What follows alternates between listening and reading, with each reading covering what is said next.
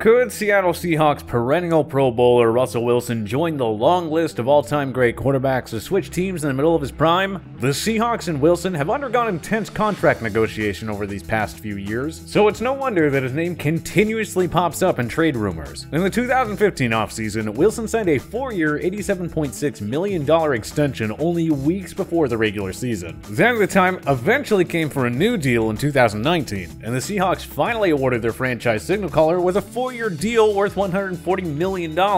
And yet, the Wilson trade speculation won't go away. In May 2020, Chris Sims of Pro Football Talk dropped quite the bombshell, claiming that the Seahawks offered Wilson to the Cleveland Browns for the first overall selection in 2018. Of course, Cleveland wound up selecting Baker Mayfield with that pick instead. Sims' colleague, Mike Florio, was able to confirm with a source that the Browns floated the trade idea regarding Wilson. Nothing ever came to be, however. And don't forget that in the early stages of the 2018 season, Jason La Canfora of CBS Sports reported that multiple GMs believed Wilson could land a trio of first round picks in a potential trade. So, the Seahawks and Wilson have been involved in two tense contract talks that took longer than expected to get resolved. He's been brought up in multiple trade rumors before. These Seahawks, like the New England Patriots, are not afraid to move on from a superstar or two. So, if the Seahawks were to trade Wilson, which team makes the most sense? Take a look around the league, and the Chicago Bears look like the most logical landing spot for Russ. No matter what the Bears coaches and front office personnel say, Mitch Trubisky won't be the answer, and the organization is clearly ready to move on from him.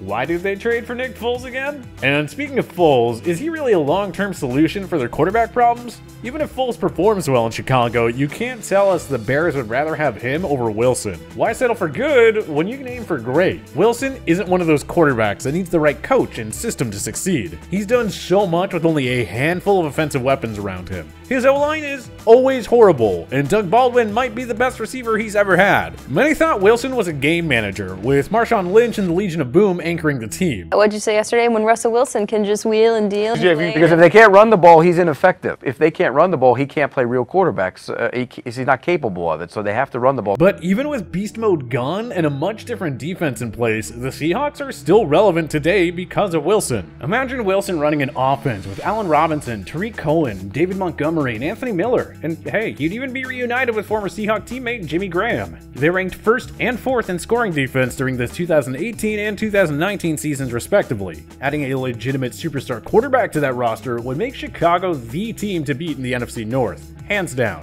So, what would be the cost to add a quarterback in the middle of his prime? La Canfora suggested three first round picks. That might be a bit ambitious on Seattle's end, but certainly two firsts and another early round selection. The Bears sacrificed a ton of draft capital to land Khalil Mack. If they're willing to give up two firsts, a third, and a sixth for a defensive player, they can do it again for a franchise changing quarterback. So, the projected cost the Bears' 2021 and 2022 first rounders plus a third round pick for Wilson. The Seahawks would have enough capital to move up and take their QB of the future, and the Bears wouldn't have to worry about drafting another quarterback bust for a while. The Seahawks are seemingly treating Wilson the same way the Patriots treated Tom Brady. No matter how much he's done for the team, they're not afraid to move on from him. And if they ever do, this type of deal with the Bears makes too much sense not to happen. Do you think the Bears will trade for Russell Wilson? Let us know in the comment section below. If you like this video and learned a thing or two, clicking the like button helps out a ton, and hey, we appreciate it.